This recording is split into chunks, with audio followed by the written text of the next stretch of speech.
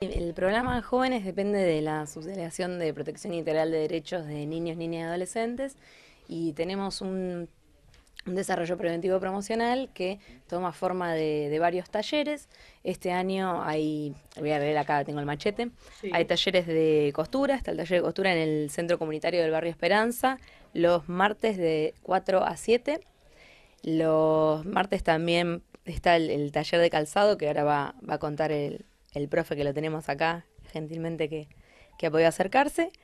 Los jueves tenemos un taller de música que está a cargo de Leo Gómez en el Centro Comunitario del Irigoyen de 6 a 8. Y me olvidé de contarles que Alejandra Pereira es la tallerista del taller de, costura del, barrio Esperanza. Em, y bueno, también eh, a nivel interinstitucional se participa desde el Consejo de Adicciones y hay un taller de carpintería que se desarrolla en el Club Unión, en el barrio obrero, los días jueves de 7 a 9 y lo dicta Gracia, Gracián yo. Bien, Alejandra, importante saber para la comunidad cómo tienen que hacer para participar. Ir al espacio directamente o tener que pasar por protección a pedir un espacio, un cupo, ¿cómo va a ser? Si pueden llamar e inscribirse, estaría bueno, así sabemos más o menos con cuántos contamos. Algunos de estos talleres ya están funcionando y otros están arrancando esta semana. El teléfono de acá de protección es 4492-894, pero también, bueno, pueden acercarse ese día, si no, no llegaron a, inscribirse, también pueden acercarse directamente.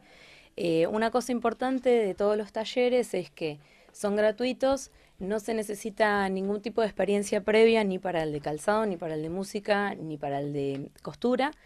Y, no hay que llevar ningún material, o sea, solo los jóvenes, que es para, para el, quien se está destinado este taller, entre 14 y 18 años, está pensado para adolescentes, todos los talleres.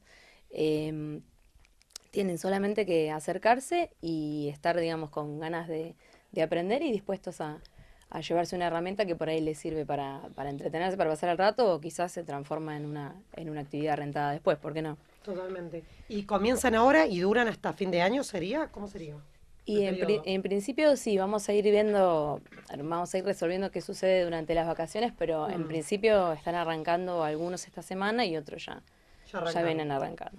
Bien, bueno, y por ejemplo tenemos el taller eh, de calzado, este, muy útil, muy importante, además el manejo del el cuero, pues sabemos que trabajan con cuero, ¿no? Claro, lo nuestro va a ser este, hasta diciembre, fin de diciembre. Eh, en realidad la modalidad que usamos para calzado es un poco más heterogénea, porque en el caso del taller de calzado vamos a incorporar a algunas personas de, mayor edad que no sean solo adolescentes por el tema de poder insertarse en una comunidad. O sea, si fuera solo para una franja sería más complicado. Entonces, este, en principio sería eso, empezar con los conocimientos, en realidad es calzado y talabartería. Nuestra idea fundamental es, pues yo ya tengo experiencia con otro curso dado anteriormente que lo centramos solo en calzado y se hace muy complejo porque, todo, porque o sea, hay muchas formas, muchos tipos de calzado, se hace muy engorroso. Entonces lo que vamos a hacer es eh, elegir dos o tres tipos de calzado y sobre eso trabajamos o marroquinería y de acá a fin de año lograr un producto o varios para ya poder empezar a insertarnos desde la parte laboral y comercial.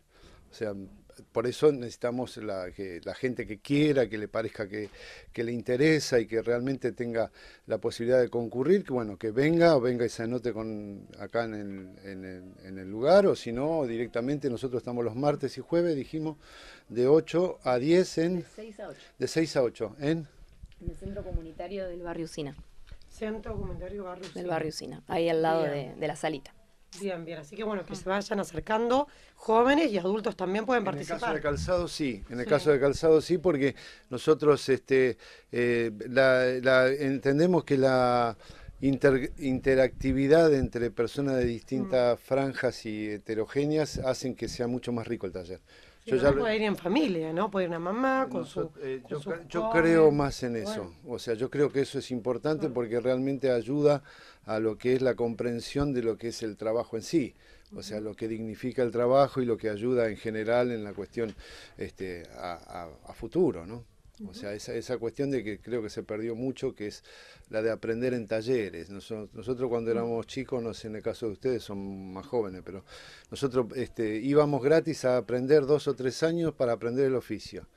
Yo ahora estaba hablando el otro día con mi hijo y es imposible pensar de que él va a ir dos años a un lado a aprender un oficio por, y gratis encima.